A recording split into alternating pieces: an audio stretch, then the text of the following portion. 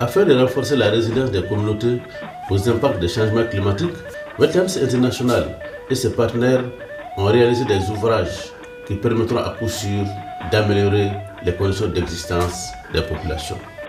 Ces réalisations se situent dans le cadre des activités du projet Réduction des risques de désastres, adaptation au changement climatique, mise en œuvre par Partners for Resilience au Mali. Les communautés comptent sur ces périmètres maraîchers pour générer des revenus et réduire la pauvreté. Le plus par 90, c'est pauvre. 690, c'est pauvre.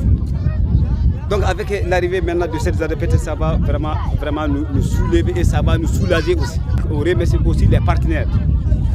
Et on remercie aussi fait le projet Vetlan. Parce que ka an ka dugu kɔnɔ na ni nakɔ in ɲɔgɔn a ma deli ka kɛ yan.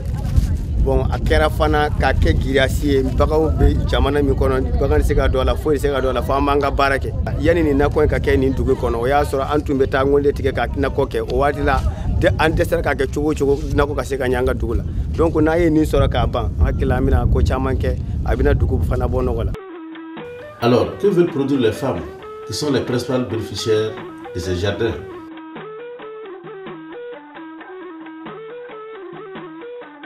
an bɛ jaba kɛ an bɛ kɔnkɔn dilan an bɛ salati kɛ an bɛ tamati kɛ an bɛ bedarafu kɛ a bɛɛ bɛ se ka ɲɛ an ka dugukolo kan an b'a bɔ an bɛ se k'a dun an bɛ se ka dɔ feere n'a tɛmɛna an ka dun ta an bɛ taga atara ka taga san an bɛ taga yɔrɔ ka taga san Les comités de gestion et les conseils de village veillent à l'utilisation équitable de ces périmètres maraîchers.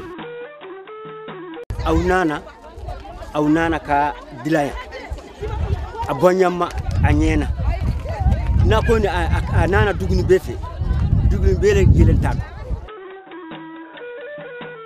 Les villages de Samiri avaient toujours été confrontés à la crise d'eau potable.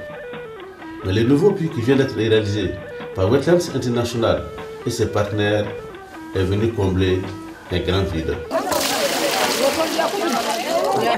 uddi sahel ngi ndemdi a boori jaati demi nde hin kadi kotoy ka to boori ka to wodde mo sa aɗa gaaridi kawnuga goydi boori ka goydi fof a booriyerte mo sanne a beeriyerga mo ay kur korin ka hiisiyerte koy a beeriyerga sanne ndemdi kawnu mo a boori yaadi a foro a boori